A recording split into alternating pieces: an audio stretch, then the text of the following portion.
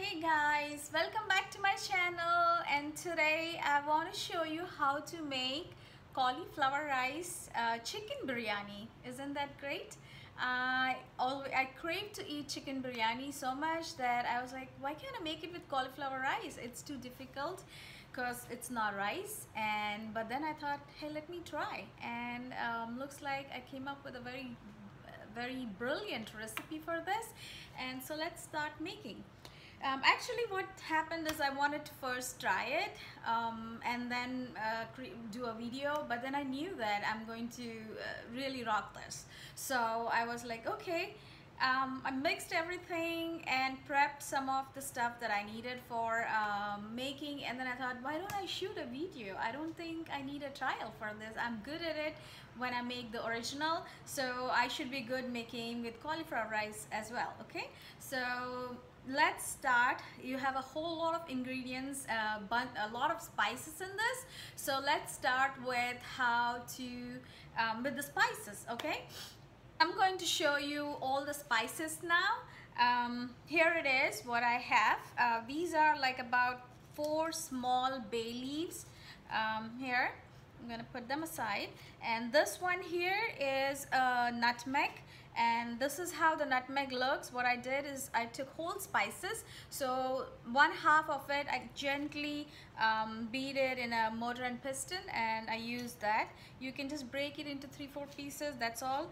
Um, I took one big star anise uh, actually one and a little leaf a uh, couple little couple leaves of this. So this is how it looks. I had them um, whole. So use the star anise then um, eight cloves. So here you have eight cloves here and this is mace where is my mace so I took whole mace whole mace and this is how a whole mace looks. So one whole mace I have broken here actually it's one and a half. I've broken one and a half whole mace about 12 peppercorns or I measured them for you guys. It's quarter teaspoon of peppercorns and uh, one teaspoon of whole coriander. So if you see here it's whole coriander. So see the spices.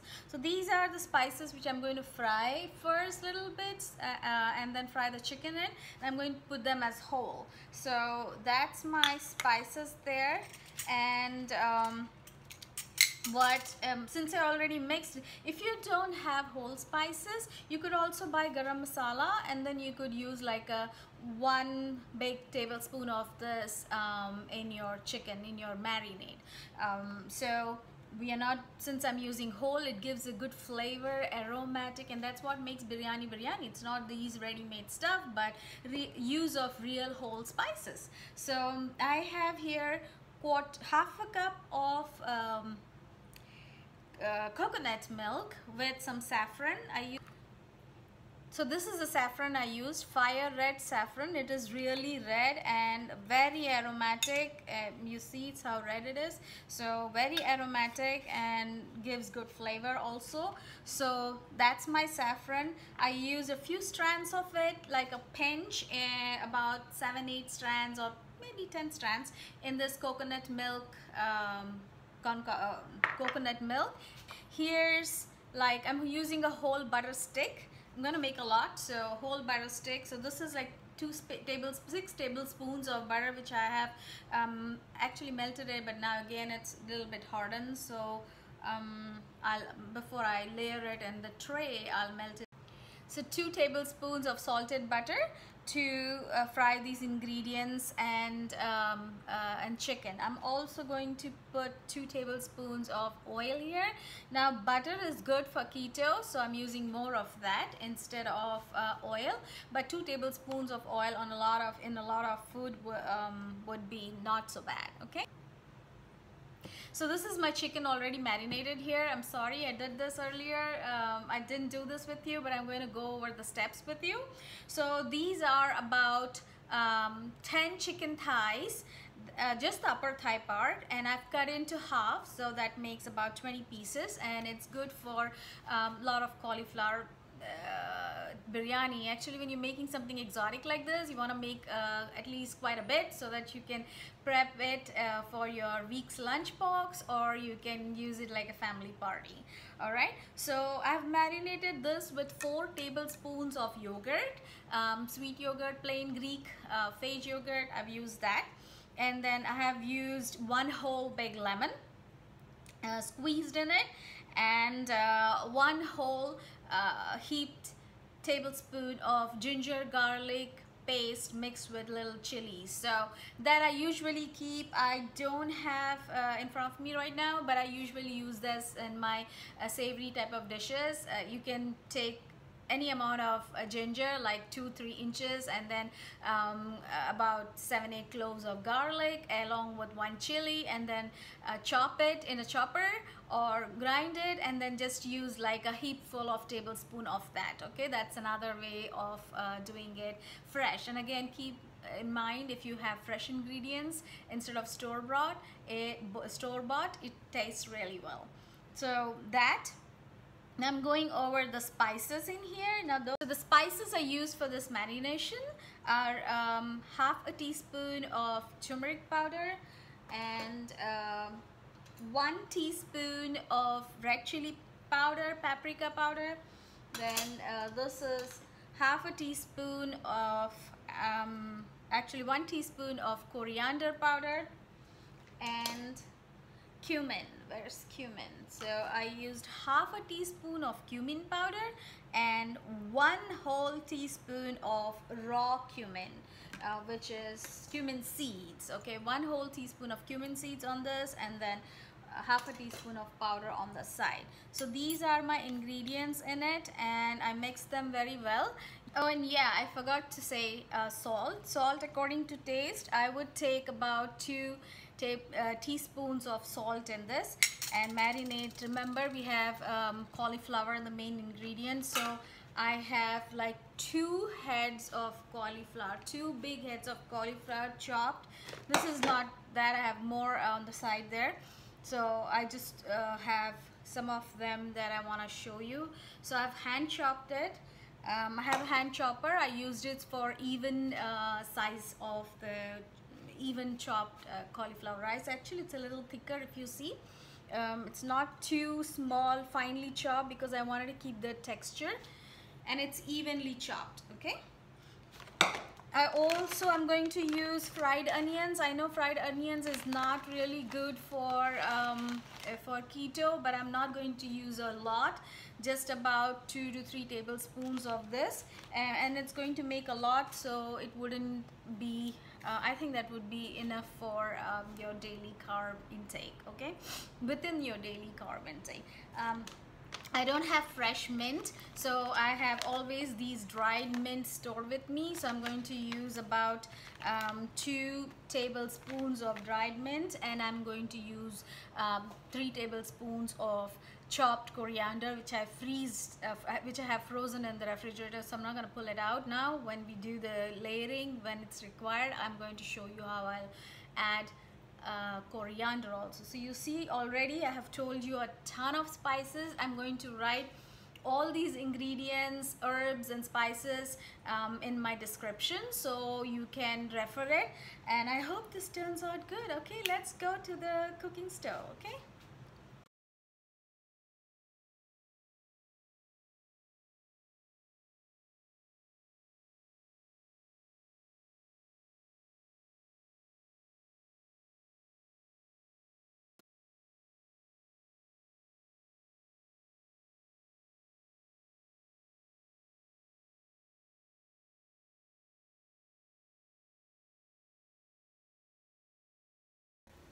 so I'm gonna fry them little bit in the oil and butter mix for about like say 30 seconds.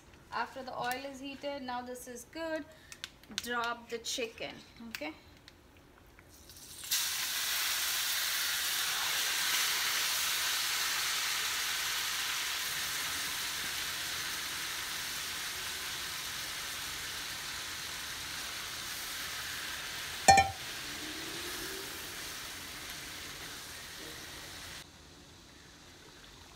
Now gently cover cook it for in a little less than medium flame for about 10 to 15 minutes. Initially let it be on a high medium high flame okay? Okay so I guess this has been sitting for 10 minutes. I want to reduce this. So I'm going to increase the flame and then let it reduce uh, for about 5 minutes okay?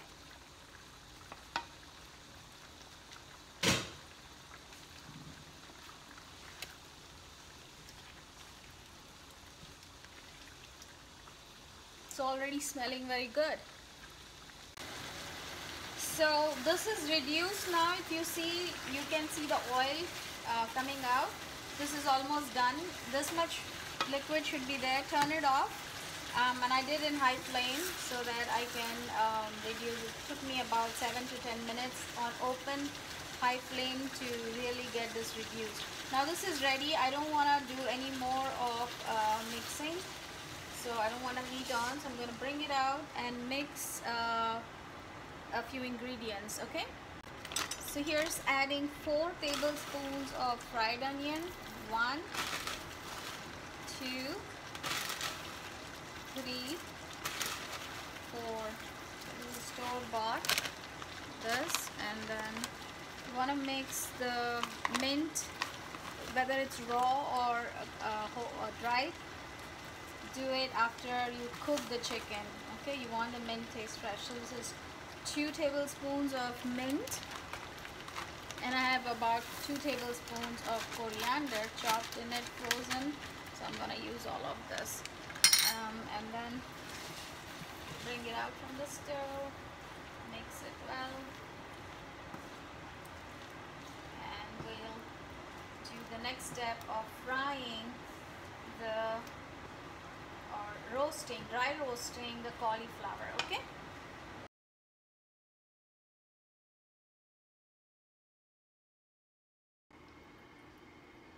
Okay, so my pan is really hot and I need to dry roast the cauliflower, um, chopped cauliflower, okay? So you see how granular it is? It's a little bit thicker, but it's evenly chopped.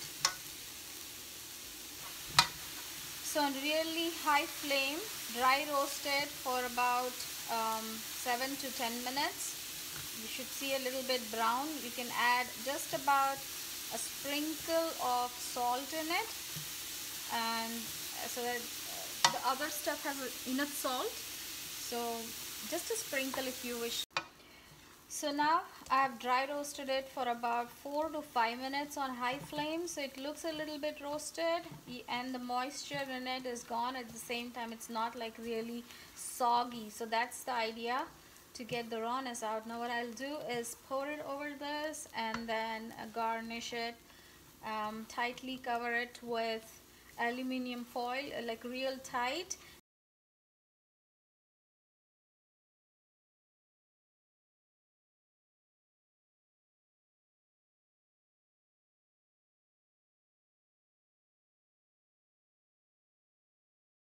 so now let's start with the garnish what I'm going to do is use about a little bit of about one tablespoon of fried onions on top just for garnish.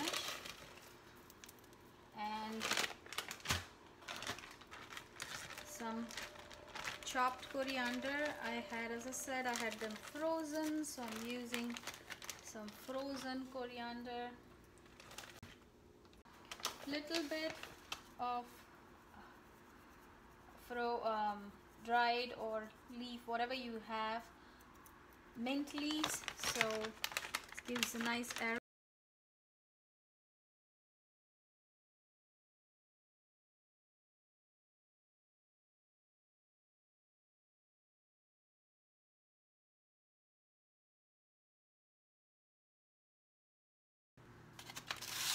it has been tightly sealed from all corners and I think I put my oven at 275 Fahrenheit and this will go in to sit there for about one and a half to two hours in 275 Fahrenheit Okay, so time to remove this. It's sitting there for two hours already. And it looks so delicious. Let me just touch it here. See, perfectly done. Okay, time to remove. I actually had it sitting another 15 minutes after um, two hours of 275 for 500 and let any liquids down there drain. So that's one way or and the reason you put it for a couple hours or one and a half hour on 275 is to actually make the meat really really really soft. Okay but then if there is any liquid down there test and see like this and then you can blast it in some more uh, about 15 to 20 minutes on 500 so this looks really yummy. Let me push this back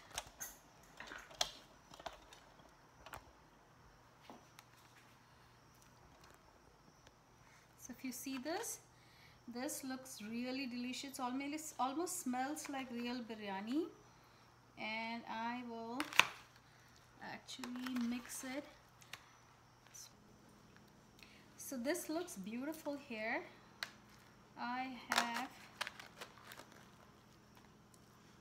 mixed this well. You see? It's been there for a long time you know what guys next time I will put it in 400 for an hour tightly closed and I think it will be very dry and good. So this smells great. Time for taste fest okay? Okay taste fest time. Actually the tada moment tada! So let's taste. It smells so good. All the aroma. I'm gonna eat the cauliflower first Mmm. Delicious. Very delicious.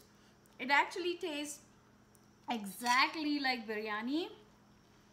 Um, you can't even tell that it has cauliflower rice in it. It's awesome. Let me taste it with chicken. If you see the chicken is so well done. It's soft.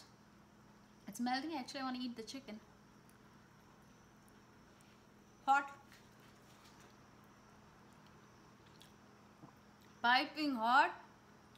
I love the tanginess spices. You know what? I want a little bit of pomegranate uh, pomegranate powder in it. So let me use my hands. Make it more tangy. Actually, I wanted to use plums in the marinade, but uh, I didn't know if it was keto friendly, so I didn't. But I think this is great. Mmm. Totally delicious. Genius. This is genius.